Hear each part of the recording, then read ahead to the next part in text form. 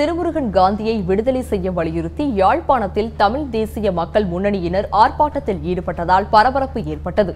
இலங்கையில் நடைபெற்ற ஈழத்தமிழர்களின் படுகொலைக்கு சென்னை மெரினாவில் நடைபெற்ற நினைவேந்தல் நிகழ்ச்சியில் மே பதினேழு இயக்கத்தின் தலைவர் திருமுருகன் காந்தி மற்றும் அவரது இயக்கத்தை சேர்ந்தவர்கள் கலந்து கொண்டு அஞ்சலி செலுத்தினர்.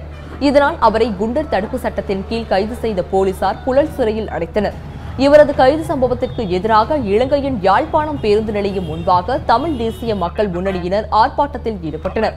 இந்த ஆர்ப்பாட்டத்தில் அந்நாட்டின் வட மாகாண சபை உறுப்பினர் சிவாஜிலிங்கம் சுரேஷ் பிரேமச்சந்திரன் உள்ளிட்ட ஐம்பதுக்கும் மேற்பட்டவர்கள் கலந்து கொண்டு திருமுருகன் காந்தியை விடுதலை செய்ய வேண்டும் என்ற முழக்கங்களையும் எழுப்பினர். இதனால் அங்கு பரபரப்பு ஏற்பட்டது.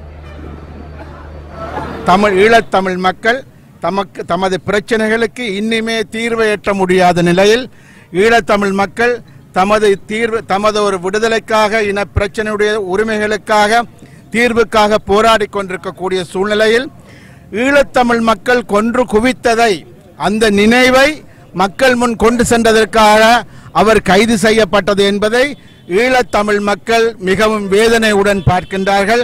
ஆகவே அவ்வாறான கைதுகள் என்பது தவிர்க்கப்பட வேண்டும் என்பது மாத்திரமல்ல. திருமுருகன் காந்தி அவர்களும் அவர்களுடன் கைது செய்யப்பட்ட பதினேழு தோழர்களும் உடனடியாக விடுதலை செய்யப்பட வேண்டும். ஈழத்தமிழர்களுக்காக குரல் கொடுக்கின்ற அவர்களுக்கு உற்சாகம் அளிக்கப்பட வேண்டும். தமிழகத்தில் இருக்கக்கூடிய சகல கட்சிகளும் சகல அமைப்புகளும் ஒன்றிணைந்து திருமுருகன் காந்தியை விடுவிப்பதற்கான ஆவண செய்ய வேண்டும்.